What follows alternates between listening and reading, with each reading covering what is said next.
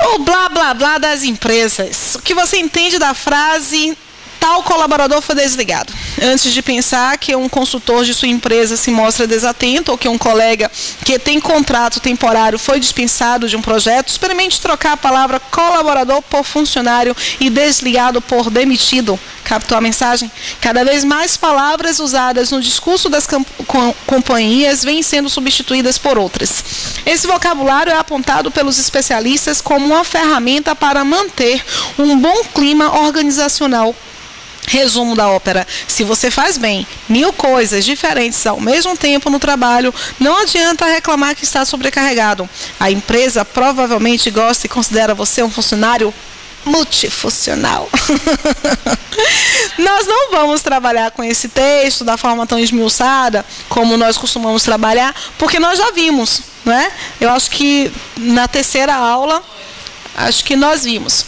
Na leitura do texto, os alunos devem depreender uma estratégia verbal adotada atualmente, que uma estratégia verbal adotada atualmente na empresa é a de B de bola?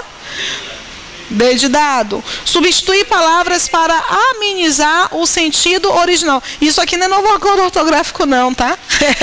Juntou, tem que ser separado. Você colocou letra D também? Ok, ninguém teve dúvidas em relação a esse texto, porque realmente não tem outra possibilidade aí entre as alternativas. Interessante que o, o patrão seja multifuncional, para que o seu funcionário não, não engane. É. É. Entendeu? Que meu. Nossa. Eu não preciso saber como faz. Você que tem que fazer, por isso que eu estou te contratando bem. Hã?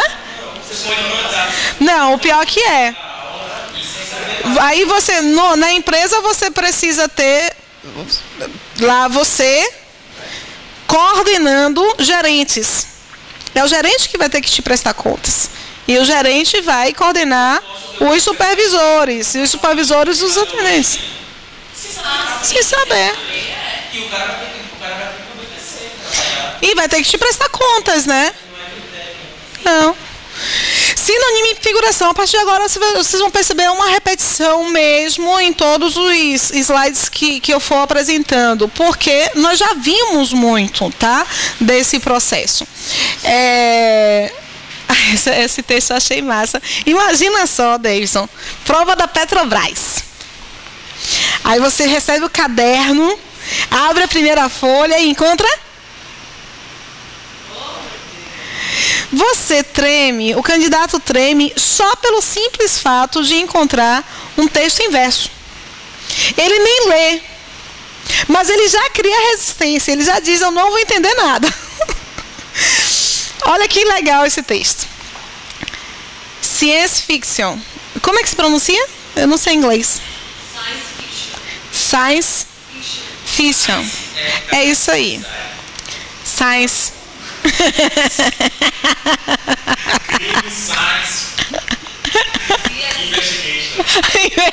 Ai, Gabriel, você foi pior que eu. Você foi pior que eu, Gabriel.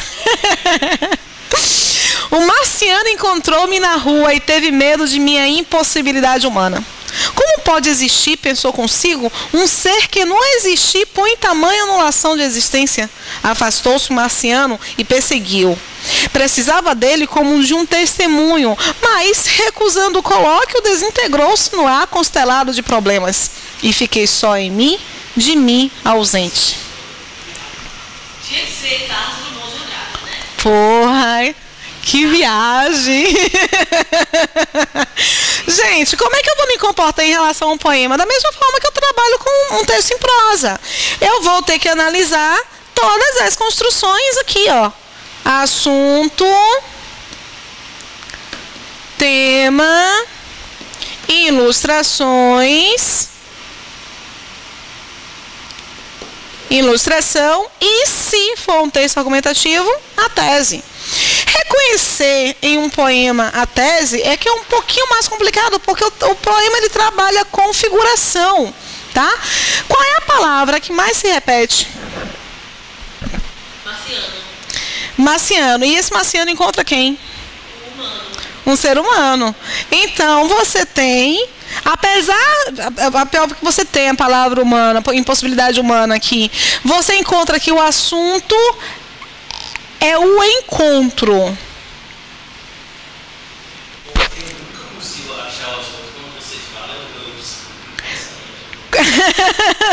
Mas ele não está tratando do assunto ou do, do encontro? O tempo inteiro você está percebendo a questão do encontro. Num poema é, é pouquinho diferente do texto em prosa.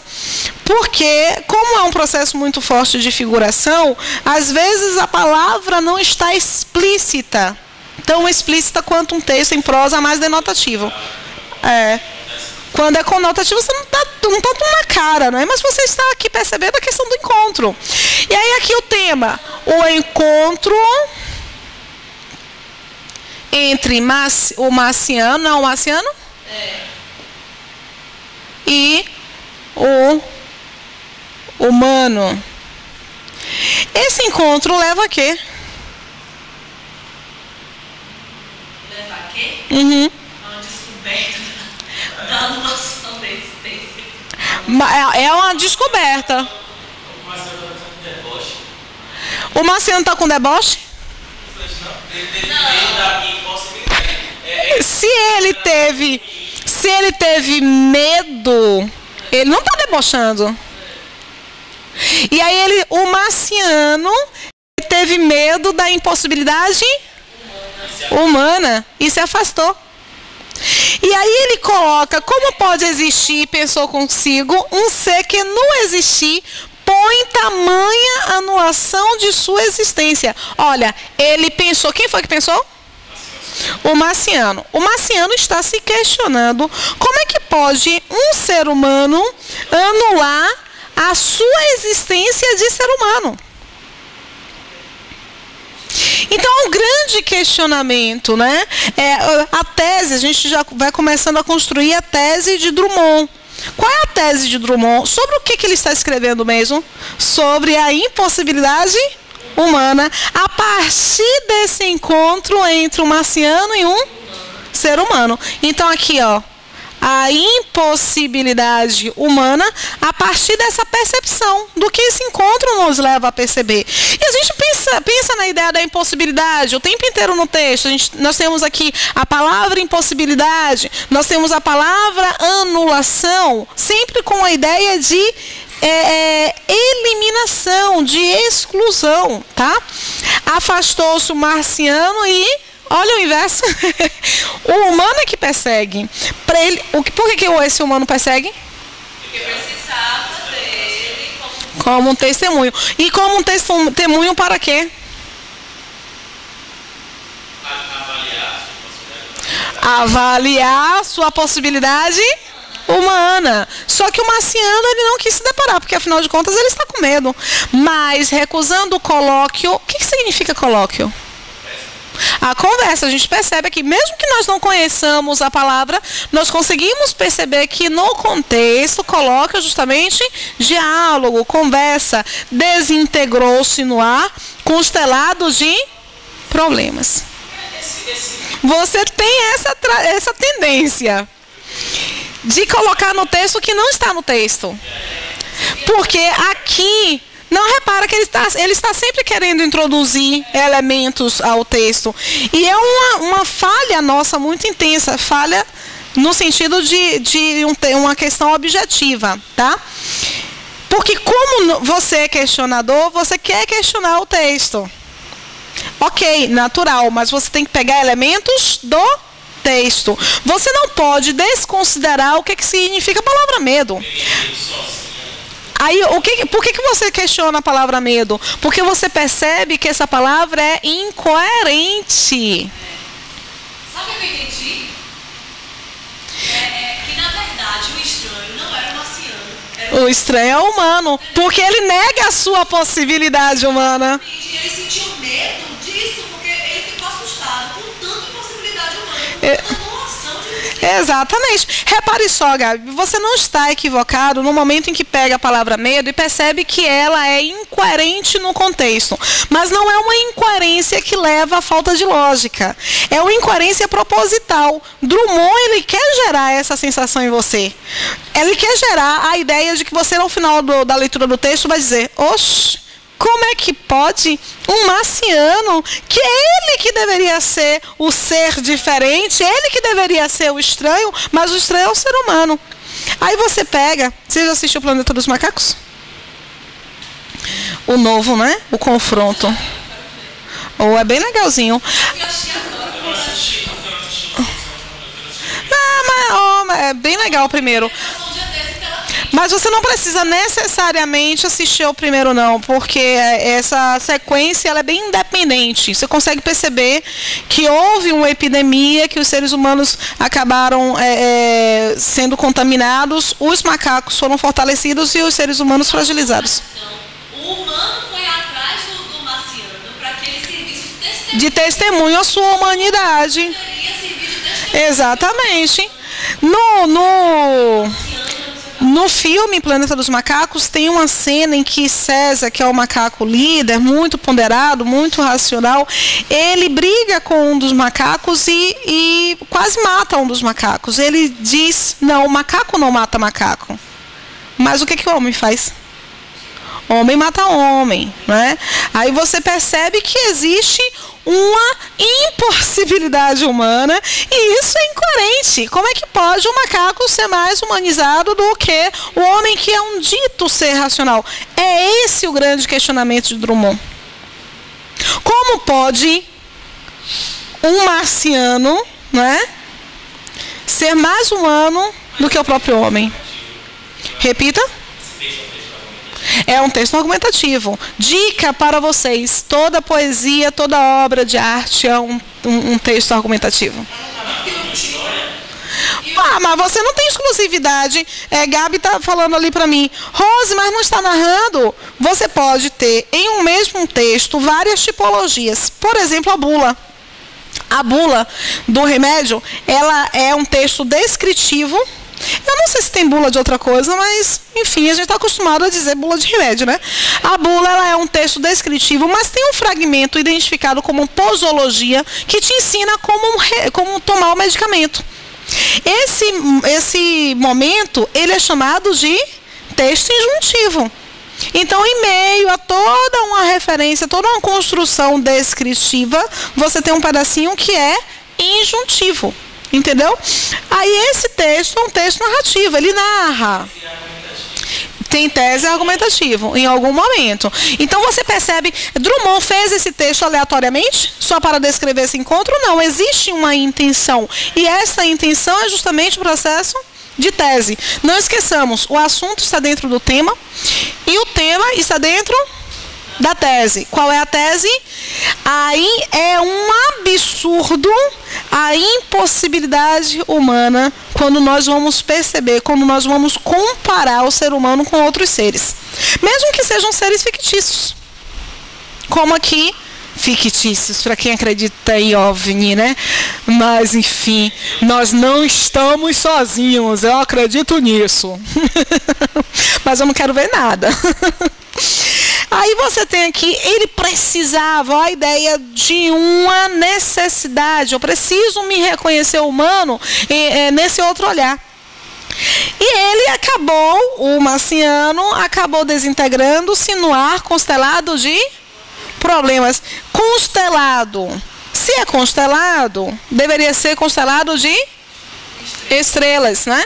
Aí ele trabalha com um processo metafórico aqui. Existe uma figura de linguagem. Ele substitui estrelas por problemas. Para trabalhar com uma metáfora, estrelas e problemas. Para você conseguir entender bem isso, você precisa analisar qual é a característica comum. Porque eu só consegui compreender essa estrutura porque, inconscientemente ou conscientemente, eu percebo qual é a característica comum entre estrelas e problemas. Qual é? É? Qual é a característica comum entre estrelas e problemas? Eu achei que constelação porque tem várias estrelas e vários problemas. Exatamente, a ideia de muitos. A constelação é a ideia de muitas estrelas, então você tem a ideia de muitos problemas, não é? É quando é, eu trabalho com metáfora aqui nesse verso, mas existe também uma outra figura de linguagem, que é a ideia da hipérbole. O que é hipérbole? A figura do exagero. Então, neste momento, nem sempre a hipérbole é uma metáfora, tá? Neste momento, esta metáfora me leva a perceber o exagero e por isso eu tenho no mesmo verso duas figuras de linguagem, metáfora e hipérbole. Aí ele pode perguntar qual é a figura de linguagem predominante. A figura de linguagem predominante é a figura da metáfora, ok? E fiquei só. Eu, humano, fiquei só. Ausente de quê? De minha humanidade. Durante todo o texto nós temos a referência à anulação. Ok? Posso ir? Bonitinho, né? Não, mas é, aqui a gente leva mais tempo porque a gente discute, conversa, faz digressões. Eu tempo que o senhor me disse que antigamente não vinha expressamente, expresso na questão aberta para você fazer o texto dissertativo, o não vinha? E faça um texto. E disse que um, um cidadão é, era sobre água, não sei o que, ele fez uma poesia de Clécio. Botou, eu estudei, estudei, mas estudei, estudei, e é, e me enrolei no bingo d'água. É verdade, Olha, esse mito é muito é muito divulgado. Eu também escutei na minha época, a gente acaba produzindo, produ- reproduzindo, né? Dizem que é verdade, que é, hoje eles expressam é dissertação e eles expressam mais. Antigamente eles diziam somente escreva um texto dissertativo. Mas o texto dissertativo ele pode ser argumentativo ou expositivo. E aí havia um número muito grande de indivíduos que faziam texto dissertativo ou expositivo. Então eles começaram a explicitar um texto dissertativo, argumentativo e às vezes ele ainda reafirma, apresente o seu posicionamento. É isso que diferencia artista dos seres humanos normais.